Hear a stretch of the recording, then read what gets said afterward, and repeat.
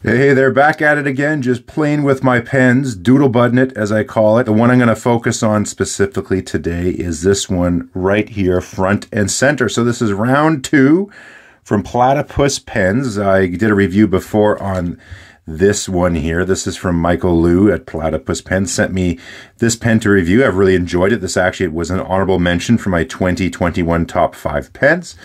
Uh, but he sent me another version, and this is the Model 10 Pattern 4. In particular, is this interesting filament called terracotta.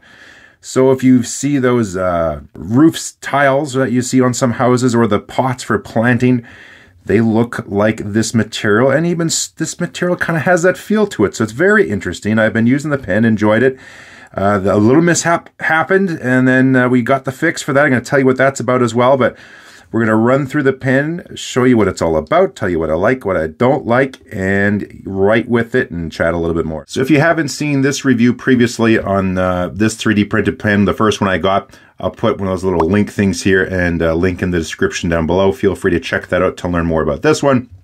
But today we're talking this here, like I said, Model 10, Pattern 4. Now, I'm going to stop it right there. And, uh, you know, those are probably the names he gives the models, you know, the files for printing the pens. But from a marketing standpoint, we could use a little uh, more creativity, a little more naming. So I'm going to turn things over to a good buddy of mine from Australia, Aussie Bud. Well, thanks, Doodle. Uh, he wanted a little bit of help here getting some names together for these platypus pens here. So I thought we'd give a bit of an Aussie twist. First pen up here, nice light mid-size pen. Figured appropriate name for this one. It's nice and light and nimble, good size, fits most hands. We're going to go with a little Bungaroo. That would be my name I give this one. And now if you got a bit of a larger mitt, like your, my good friend Doodlebud, you need a proper size pen in that case. You're going to want the Chazwazza. Hey, thanks Aussie Bud for the names. So uh, I like those two, Bungaroo and Chazwazza. So in the comments, if you want to give your ideas for some good Aussie sounding names for his pens, give Michael some inspiration. I actually chatted with the local barista here at the Starbucks. She's from Australia. She said the best Australian names are if you go to like a suburb on a map and start checking out some of the road names, you get some classic Aussie names going. But back to the pen away from the naming. I figured while I have it out, let's give you a quick size comparison. So here we got a Pilot uh, Custom 823. This is the Narwhal. This is their standard sort of piston filler. This is the Peter Draws edition. So you can see there right around the same size of those pens. Here's even like say a Pelikan M uh, 805 for reference. So a little bit larger pen in comparison to the first one I have. I can't remember the model name. Um, I'll put that in the comments below and in the link in the description there too. So, you know, a little more length on this one here and a little more thickness as well. So if you like a bit of a larger pen, this is a go-to. I'll put the weight and dimensions and all that in the description, but overall the body of the pen is about 14.2 here in the main body, about 12.2 at the top of the section, and then about 10.2 by the time you hit the end of the section with the taper. But plenty of room. Uh, it does post. We're going to talk a little bit about this material. It has some unique properties as well, but very simple and plain. It has the ballast in there as well, so you can see that it's smooth. There's no clip, but when you do set it down like with the other one, you know, obviously if you push it hard, it'll just roll away. But same thing here, you set it down, it'll find its spot because he has a little lead ballast that's put into the pen. So there's the construction, it's multi-piece. So all these parts are done on the, his 3D printer.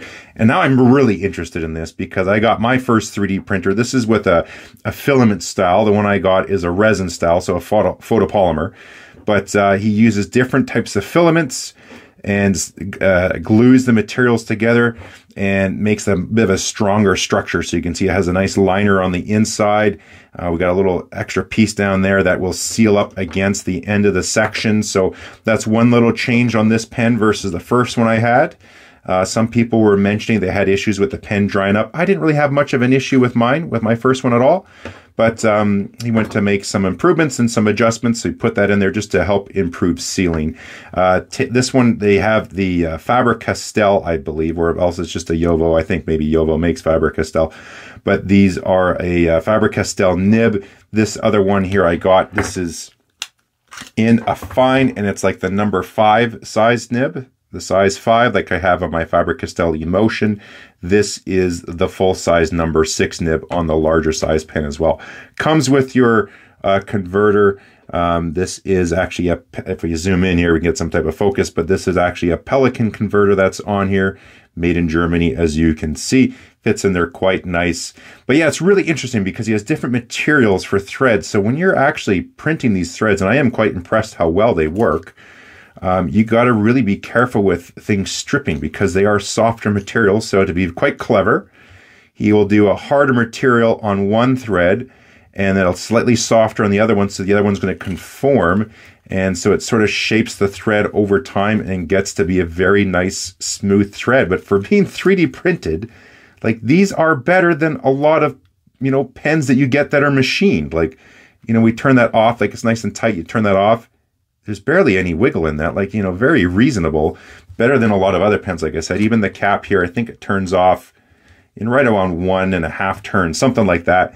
Um, but comes off, you know, again, not very much, not very much wiggle in those threads. So they're, they're really good threads. I'm surprised what he's able to pull off with these. We got a cap band on there to reinforce.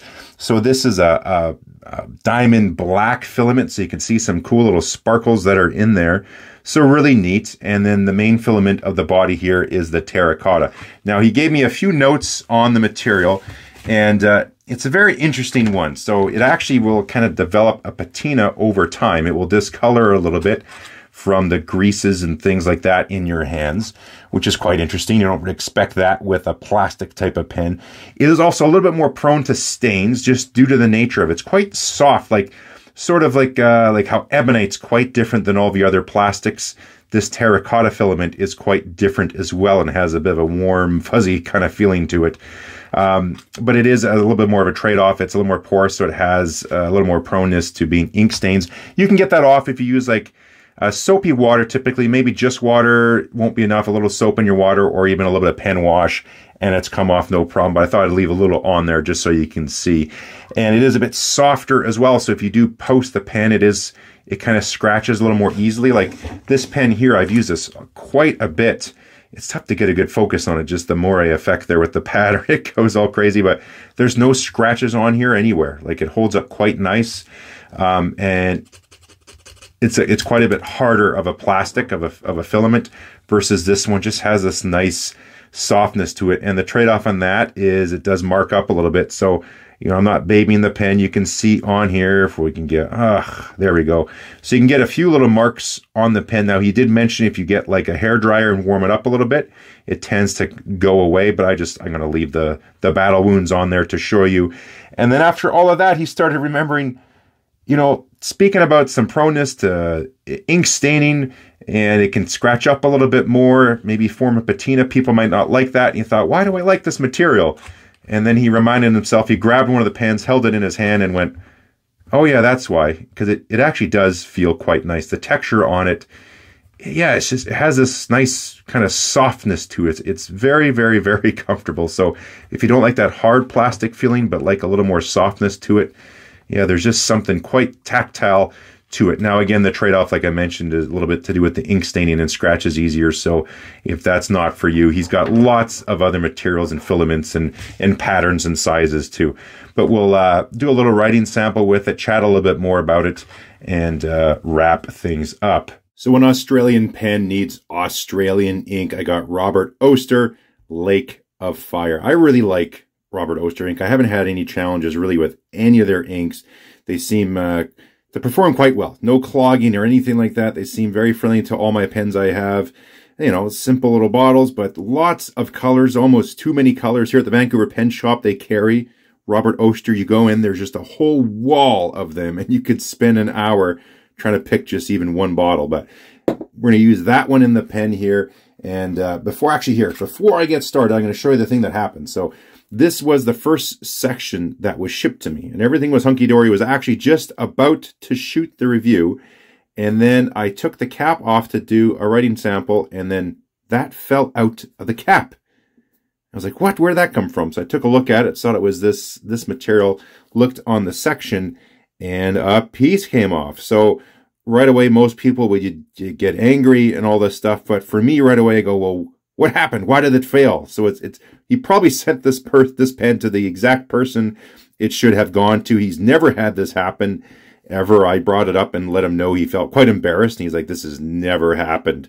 Um, but he wanted to know why as well. So I said, would you like me to give you a couple ideas? And he said, yes. So we chatted back and forth a little bit.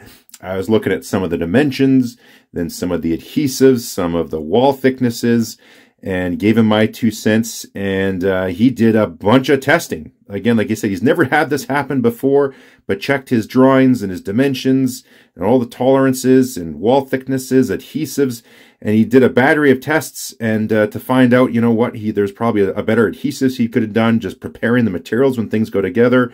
He did revise the wall thickness and made some adjustments to the overall drawing.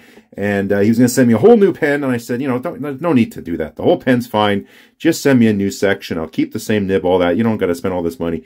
So he sent me a new section in there and I can, I can see right away just the difference in the wall thickness here around the edge. So you can see this wall thickness here on this end part versus here.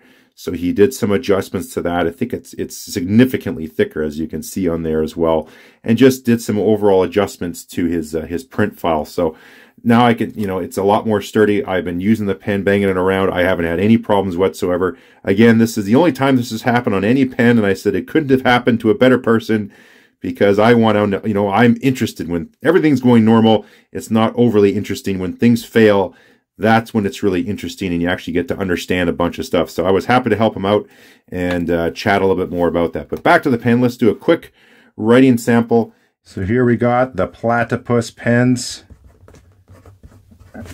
I did check the nib it is a JoWo medium. I compared it with my uh, Gravitas entry pen that has a JoWo medium nib on it. Compared the two, and these are both exactly the same as well. So this is the Model 10 Pattern 4. Now, I just scratched that out really quick, I thought being this pen is made from a terracotta filament, there is a very specific writing sample I just must do.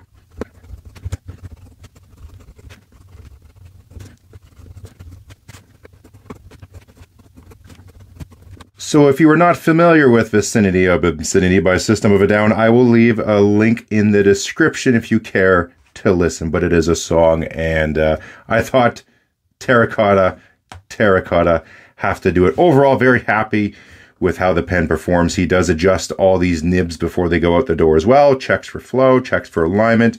Uh, he mentioned this one was bang on, and I have to agree, it is pretty much spot on. So my closing thoughts on uh, this pen here sent to me by Michael Lou at uh, Platypus Pens. Check them out on platypuspens.com.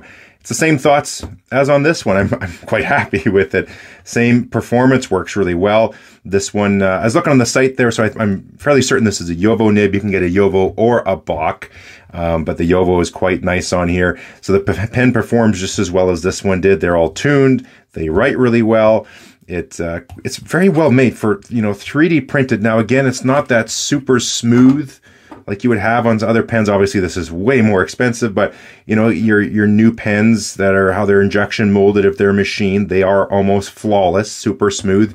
You can see little details and stuff like that there. If we zoom in, you can see you know the layers there from how this thing is printed so it's not going to be a super pristine super smooth like on other pens but the build quality is i'm quite surprised what you can pull off with just a, uh, a 3D printer. The threads on here are fantastic. They're better than most, uh, well, not most, but like quite a few pens that I get that are even machined or even injected molded sometimes. So the threads are really great. The, this one here, he mentioned to me when I get it, um, you know, the threads will probably get a little bit smoother over time, and they did. These ones were smooth right out of the gate. It posts quite nicely, nice and deep. It's secure. It's very comfortable, good size. Um, again, the terracotta is sort of a curse and a blessing at the same time. The the blessing part is it it feels really nice in the hand. It's just the texture, the warmth. It uh, Again, it's sort of like an ebonite thing where you just got to pick it up and feel it and you'll know what people are talking about. This doesn't have that, the same warmth, but the texture is there. It's, it's just, yeah, it just feels like it conforms to your hand. But again, the trade-off is a little more prone to stainage and uh, getting marked up a little bit as well. But, uh, yeah, it all depends what's important to you. So you might not like the terracotta. Check out the site. He's got all sorts of different materials, different patterns. This is, has the dimples on it, um, different colors as well, color combos. You can do a Bock or JoWo nib. So he's got lots of lots of options on here, and I'm pretty happy with it. He's got the ballast yet. There's no clip on there, but instead of it just rolling away, he's got his little version of a roll stop. So it's quite nice. I think the balance is the ballast on this one is a little bit bigger. It seems to stop quicker you know, it's a bigger pen, so you can see the difference. This takes a few more wobbles than the larger one because you can just fit a little bit more in there. But check out the description. Check out platypuspens.com. As always, you know, leave some comments. I want to engage with you. Mike will, will uh, last time on this pen, he engaged with people's questions. He'll probably do the same on this video as well. So keep an eye out down there. Thank you for watching and all the subscribes and likes. It really helps me out as well. We're going to leave it here for now. I got some new videos coming up. Going to have lots of fun. We will catch you next time.